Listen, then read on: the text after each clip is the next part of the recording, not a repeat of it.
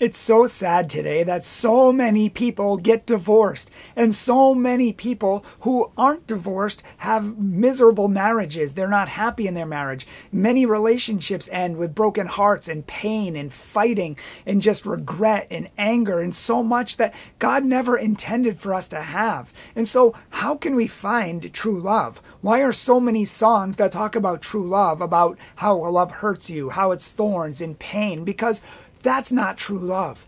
True love makes you better. True love makes you stronger, more confident, helps you to find yourself, eh, be happier, and be more fulfilled. Whereas a false counterfeit love steals all of that. It makes you more unhappy, more sad. It takes away your self confidence and your self esteem. It makes you more codependent. You lose yourself in the relationship. You end up fighting all the time, becoming, you know, someone you're not, losing your hobbies, and so on. So, in order to have happily ever after, we need to know what true love is. That's exactly what we're going to be talking about in this video. If you're like me, you're just tired of all the divorce in this country, of all the heartbreak, of all the pain, and it's because the the media and TV and movies, they tell us wrong. They teach us wrong. All of these things, which are supposedly about love, it's no wonder most people in Hollywood aren't married. In fact, they're divorced one, two, three, four, five times because they don't know what it takes to make love work. So, in order to make love work, you need to know what it is, how to find it, and how to keep it. And that's exactly what we're going to talk about right after this.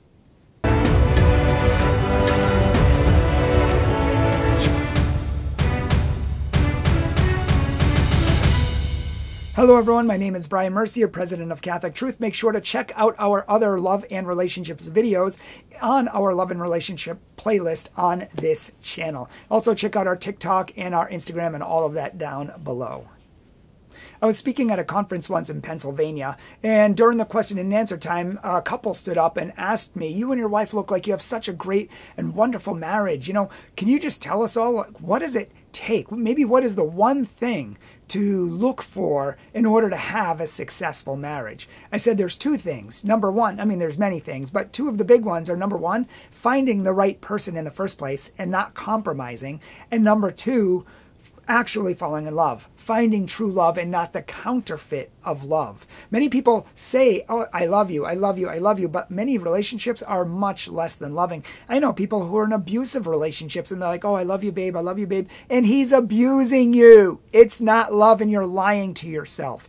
And so we have to know what love is if you actually want a relationship and stop compromising. Because as long as you're with someone you should not be with, and you know that in your heart, you can't be with the person that God actually has for you, the happily ever after intended for you. A story about what true love is. I had a friend named Dan, and Dan was a good looking guy, big guy, strong. All the girls liked him, and he knew that. And so he used to get with girls and hook up with them constantly, make out with them, do more than that with them. And anyone he could get with, he used to get with. And he got a lot of girls. And then you know, after a while, one day he met this beautiful girl, long black hair, big blue eyes.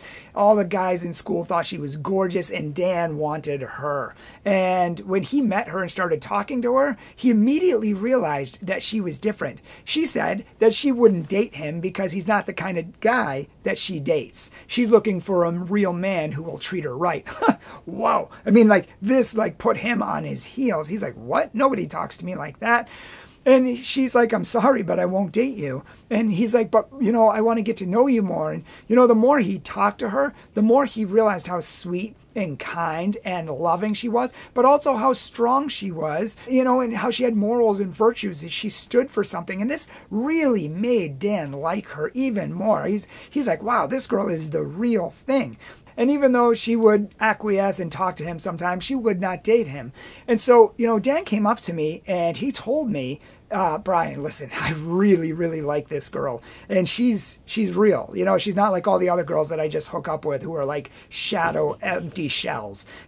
and so he's like, listen, Bryan, I promise you, if I have the opportunity to date her, I'm actually going to date her. I'm not going to hook up with her. I'm not going to sleep with her. I'm not going to do anything that might get her to get pregnant or have a disease or anything else because I don't want anything to happen to this girl. I like her too much. I want to protect her. In fact, I mean, he's telling me this. This is a man who's the player with all of these women who can get any women woman he wants and all of a sudden he wants to respect this woman, he wants to protect this woman, and he wants to date her and get to know her on a deep level. Now, let me ask you, which one of these scenarios was true love? The hookups, the cheap dates, you know, the, the ones who will just give their bodies away for nothing, or the woman who actually respected herself and Dan wanted to serve and protect and have a deep, loving relationship with, a meaningful relationship. Obviously, the second one, Dan himself wanted to change because of this girl. He wanted to become better. He wanted to do better. He wanted to make better decisions and he wanted to treat her right.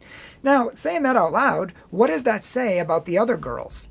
What does that say about how he treated them and how they let themselves be treated? Now, some of these women probably fancied, oh, he loves me, you know, we're hooking up together, or we're in a relationship and we're getting it, really, we're just sleeping together and he's using you for your body. That's what it is. It's not love. But this other relationship is true love. And here's the lesson of love true love does what's best and good for the other person, whereas false love and lust does what's better for oneself. Lust seeks to take, it's selfish. It wants to get pleasure for oneself, even if you have to sacrifice and empty the other person and not care about them. Whereas true love seeks to give to the other person, seeks to make them happy, seeks to make them holy, seeks to serve them and do what's good for them, even if it's a sacrifice on our part and we have to empty ourselves to make that sacrifice. Even if it's hard, we want to do what's right for them, for their mind, for their heart, for their body, for their soul, together, we want to do what's good for them. We care for them. And in fact, John Paul II, uh, Pope, he's the one who wrote Love and Responsibility. He said, the more responsibility you feel for another person, the more true love there is the more you feel responsible and, and love them, you care about their mind, their heart, their soul, you want to lead them to God and not away from God, the more true love there is. So that's what love is it's caring for another person and choosing to love them over yourself. It's selflessness and not selfishness. And this can only happen if we find someone who is capable of love. Many people act at the outset like they're capable of love, and they put on a good act and they go, you know talk a good talk. But the reality is, so many people are struggling today, are broken today, have mental health issues today, and they don't reveal it to you until you're trapped and it's too late. Which is why you don't want to rush into a relationship. You don't want to talk to the person every waking hour, every day, texting them all the time, because this bonds you prematurely and it blinds you from knowing who that person is.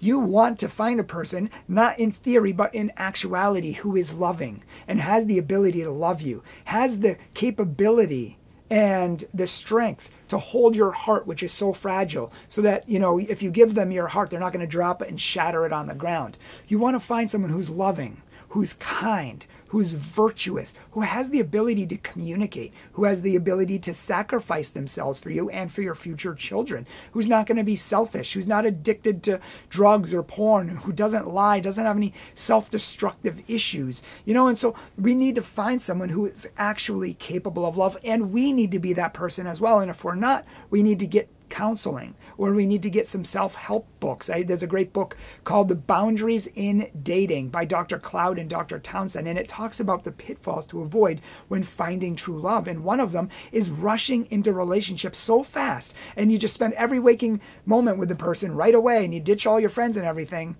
that you don't even get to know the person. It's a facade. It's not real. The person you think you know is not the real person. It's deeper. After a year of dating, my wife and I realized we were pretending on some things. We were wearing masks. We weren't being fully vulnerable with each other. And so you said we said, "Oh, you know what? We need to work on that." And so we really tried to do that and we tried to open ourselves to each other.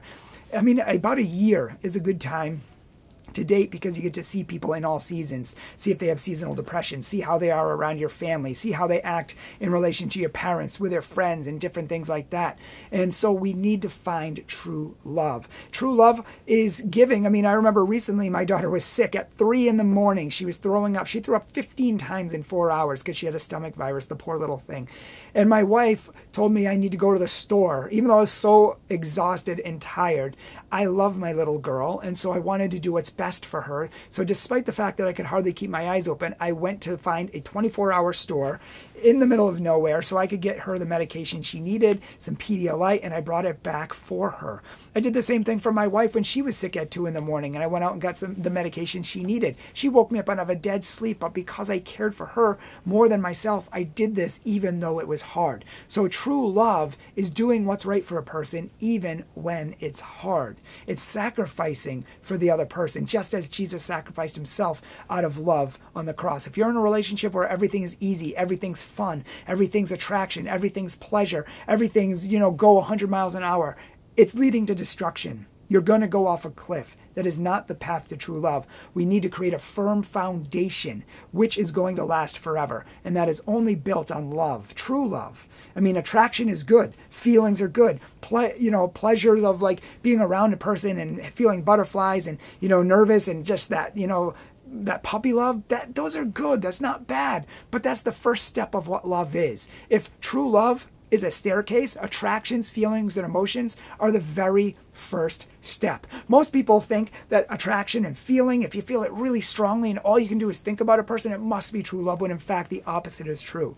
It just means you're strongly attracted to them, which is a good thing. But true love is an entire staircase more. Attraction is just the door that opens up that door to the staircase. It's a hard, long climb up that stairway to true love, which is why there's no such thing as love at first sight. No such thing. Absolutely, and in all other ways, impossible to find, you know, true love at first sight. It's impossible because love is a decision based on a mature decision of who the person really is and not who you want them to be, who the person really is, and, you know, a decision to love them. So you love who they are as a person deeply, profoundly. You fall in love with them. You say, Yeah, I want to spend the rest of my life with them. And they are capable of loving me in return, my children, kissing them to bed and being a good role model for them. When we have all of these factors, there's a good chance that we have found true love and you will find the relationship that you are looking for. Remember, true love makes you better, happier, stronger, more fulfilled, and more free. Whereas a false love leads to fighting, pain, heartbreak, depression, codependence, and losing yourself in the relationship. Check out our other videos. We have so many if you would like to know more. We have a three, it's old now, but we have a three part series called The Pathway to Love in our Love and Relationships folder. Watch that whole thing. It's about an hour long and all, it'll teach you how to find true love. Thank you so much for watching today. Thank you so much for tuning in. Please do us a favor and like this video. Leave a comment down below if you have any questions or if you have any thoughts on this. And please share this video with others because our world is so confused and they have no idea what love is and they're being deceived on every level.